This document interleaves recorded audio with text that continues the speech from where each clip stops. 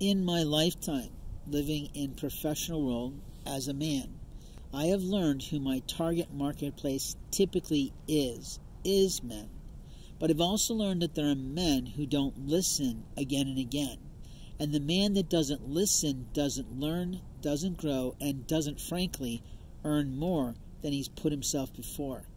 You see, in the world today, we have to target a market that makes us the living that we need to be at for ourselves, for our family, for our friends, for our philanthropy, for whatever reason we're motivated to earn. But if your children think that money just comes on trees or simply is going to be awfully easy to get like a breeze, then you have enabled them to think that they don't have to work for their living. The hardest women and the hardest men in show business are working hard. It's not easy to learn lines. It's not easy to learn acting. It's not easy to learn uh, what they call plotting or something where they move them through the scene of where they should be. And I'm probably getting that term wrong because I haven't thought about it in since history, but that's not the point.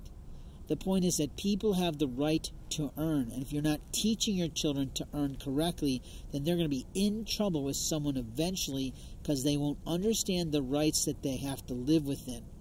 The rights of your industry and the responsibilities of your industry are very clear. The regulations and the laws that govern those careers are important to people who work there and those who consume there.